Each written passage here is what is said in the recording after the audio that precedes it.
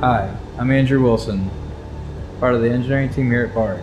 This video will cover the FUSION-TEC series PLC control startup for new installations. This is part of the Bard Breathe Easy video training series.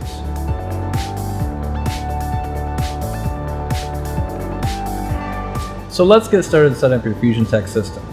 We're going to start off with the LV1000, which is the communications controller for the FUSION-TEC system. Our first step, we're going to click on the settings button, take us to a login screen, where we're going to enter in our service password. The default for the FUSION-TEC system is 1313. This will bring us to our main menu, and under that main menu, the first thing we're going to do is set our date and time. Date and time is under our settings menu. So if we scroll down to our settings and click enter, we'll come up to another sub menu with our date and time and click enter again. First, we want to set our time zone since we're currently in New York, Indianapolis time zone. That's where we're going to leave it. To get to the next screen, after we set our time zone, with our cursor up in the upper left hand corner, we press the down arrow. That'll come to our date time change screen. To set the time, we hit enter to advance the cursor up or down to change the time. Once we're done setting our time, we can change our date format from year, month, day, day, month, year, month, day, year. Change our date, the month, and the year. And once the cursor is back up in the upper left hand corner, our time should be set. After we've set the date time, we're going to back out to the system main menu where we're going to go into the system config menu to set up our total number of units. To do so, this unit has two units, which is a default for any installation. If we need to add three or four, we just bring the total number of units up to three or four, hit enter, and that sets the total number of units. After we've set the total number of units, we can advance down to the system temperature set points. For most installations, 79 is going to be your, your cooling set point, and 60 degrees is going to be your heating set point. After these have been set up, we're going to back out to the main menu, and our next menu is the I.O. config menu. This is where we set up any temperature, humidity sensors that are connected to the system. The very first screen is going to be your digital inputs, which is your smoke, hydrogen, generator alarms. Those will all be enabled by default. If you are not using any of them, we suggest that you disable them. How you disable them, you would scroll down through them till our cursor is highlighted on one.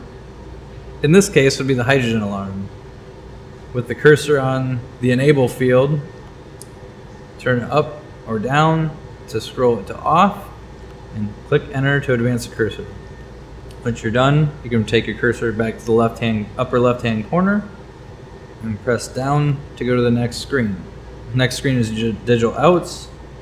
And after digital outs, we have our analog input sensors. Indoor humidity 1 and indoor temperature 1 will be on by default because we assume that you would use the temperature humidity sensor that comes with the LV1000 system.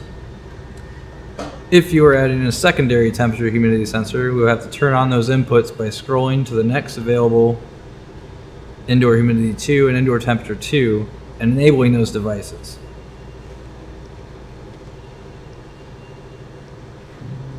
Now that we've finished the LV1000 setup, we're going to move on to the FUSION-TEC wall unit. The first thing we're going to do is plug in the TEC-EYE.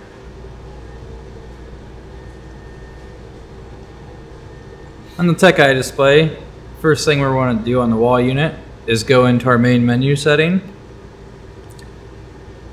Again, enter the service password default of 1313. First, we're going to go to our system configuration and we're going to set our controller address. For this installation, this unit is unit number two. Click enter after we set up the controller address, we want to advance our cursor back to the left upper left hand corner and go down to page A10. On this page we can initiate a system run test which will actuate your damper, the cooling, and the heating function. So at this point we would like to enable the run test by advancing the cursor down to run test enable, pressing up till it says on, and enter again. Now at this point, the unit is going to actuate the damper, the cooling, and the heating. After this step is complete and no alarms have been triggered, we know that our system is working properly. After you've completed the run test on the unit, repeat these steps on each additional wall unit in the system.